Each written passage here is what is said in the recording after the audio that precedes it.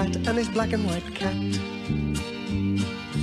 Early in the morning, just as day is dawning, he picks up all the post bags in his van. Postman Pat, Postman Pat, Postman Pat, and his black and white cat. All the birds are singing, and the day is just beginning. Pat feels he's a really happy man. Everybody knows his bright red van. All his friends will smile as he waves to greet them. Maybe you can never be sure there'll be knock, ring, letters through your door. Postman Pat, Postman Pat, Postman Pat, and his black and white cat. Singing, and the day is just beginning. Pat feels he's a really happy man. Pat feels he's a really happy man.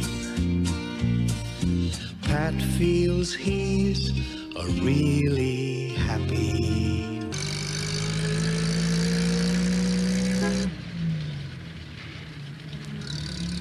What lovely weather for people on holiday, said Pat. Every summer, lots of visitors came to Greendale to walk in the hills and camp in the valley.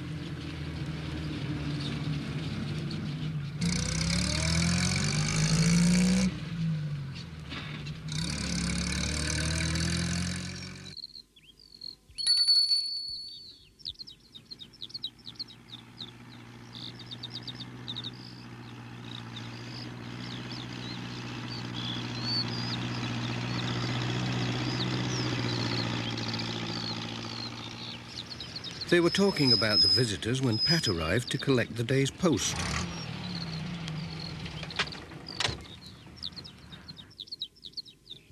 Morning, Mrs. Goggins. Fine day. Morning, Pat. Yes, and a busy one, too. Plenty of post for the visitors. The Jacksons are staying up at Birkhow Cottage. There are some letters for them, so don't forget the extra call, will you, Pat? Oh, yes, and there's a registered letter for those campers up at Southlands Farm. They'll have to sign for that. I do hope you catch them in. And a parcel for Granny Dryden. I wonder what that can be.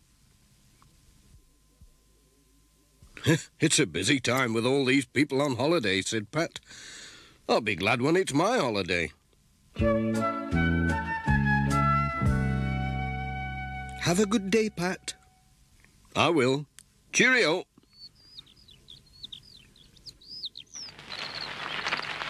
Morning, Miss Hubbard. Morning, Pat.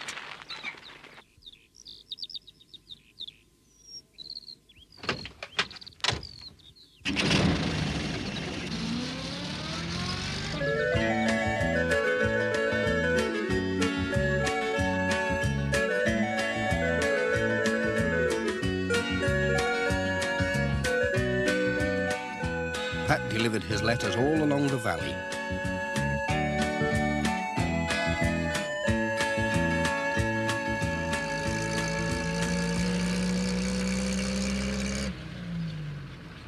At Birkhow Cottage, the Jacksons were away, but someone had left the gate open. And something unfortunate happened.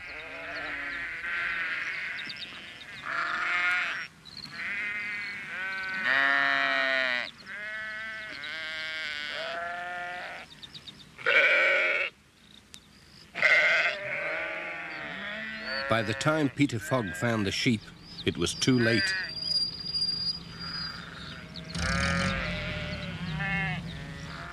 When Pat arrived with the letters, he saw the sheep in the garden and decided to help.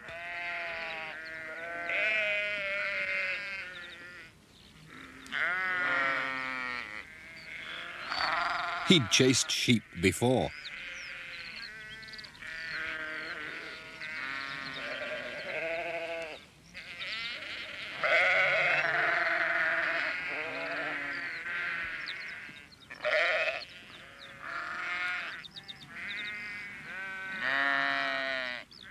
What a mess, said Peter.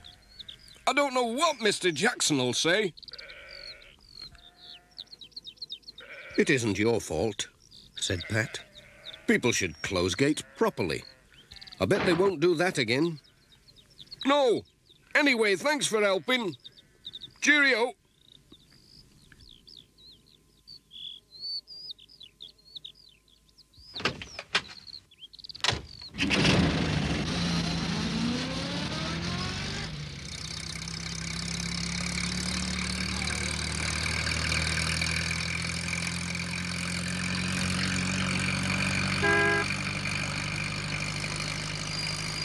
The next stop was at Granny Dryden's cottage.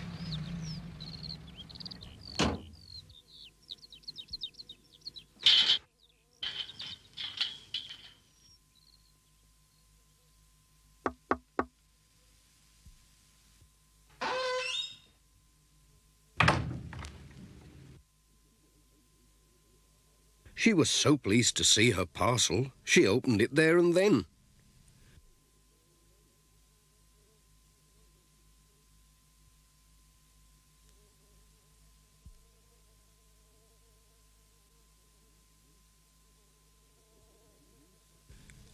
It was her new catalogue from Manchester. It was full of pictures of things to buy. Is there anything you'd like to order? Let's have a look. Ah. He chose a digital watch with a musical alarm. That's a funny watch. It doesn't look like a watch at all to me. Oh, it's a good one. It's a good one. It doesn't even need winding.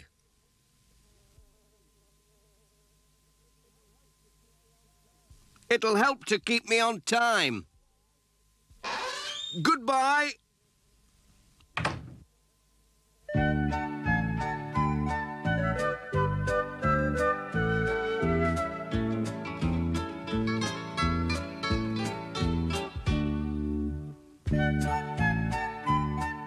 Pat was on his way.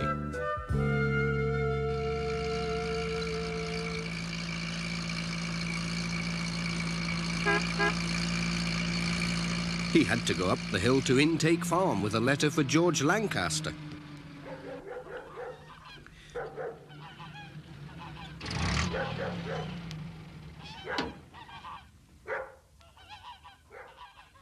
George didn't often get letters, so he was very pleased to see this one. Um, you'll be passing the campers, won't you? said George. Could you take them some eggs? Yes, that's all right. I've got a letter for them, so I'll have to stop there anyway. George went for the eggs. What beauties, said Pat. I must take care not to drop them, especially as they're all in one basket. Cheerio!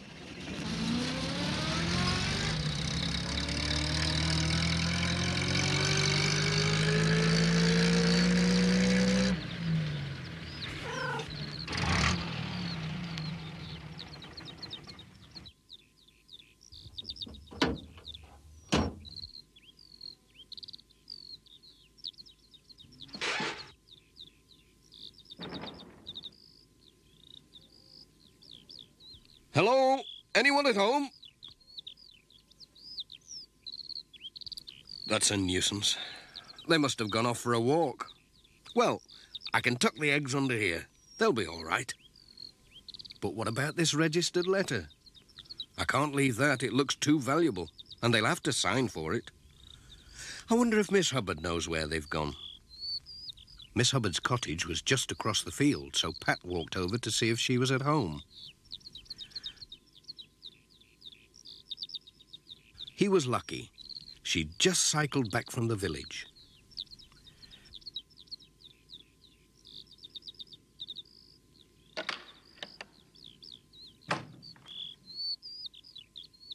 Pat told her about the special letter. She knew where the campers were, all right. They've gone off to see the Gategill waterfalls, she said. They asked me the way this morning. Oh, dear. That's at least six miles, and my van can't go along that old track. I'll borrow a tractor from the farm, said Miss Hubbard. Uh, I can't drive a tractor. Don't worry, I can. and off she went for the tractor.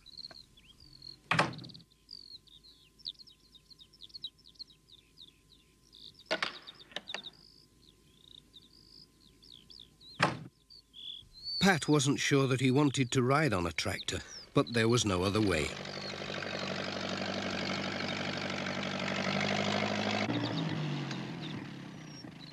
So he climbed on and off they went.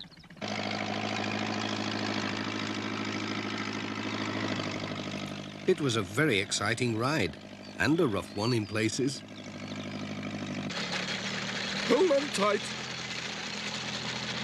Oh, that hurts. Oh, heck. Oh! Oh, hey up! Careful! Only two more miles to go. Oh, thank goodness for that.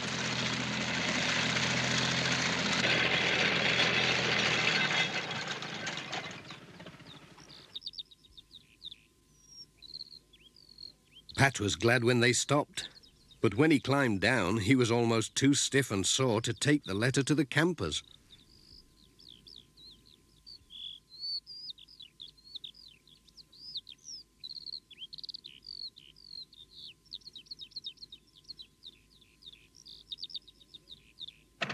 And then they had to go all the way back again.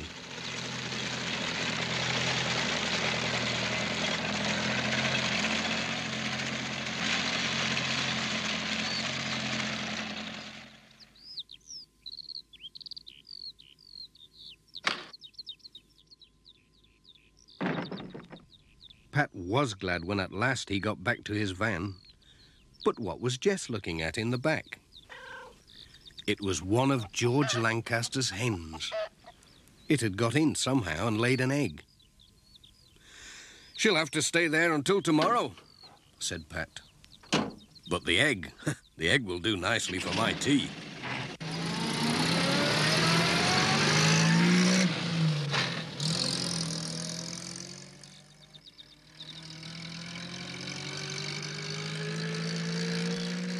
Pat was on his way home when he spotted a sheep stuck in a fence.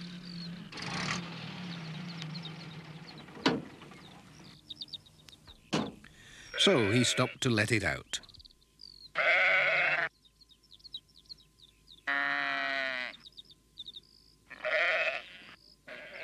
I think that's my last job for today, he said.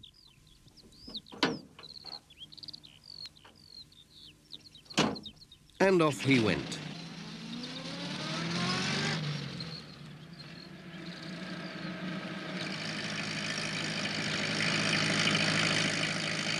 He waved as he passed the Thompsons. They were still hard at work haymaking. Goodbye, Pat. See you tomorrow.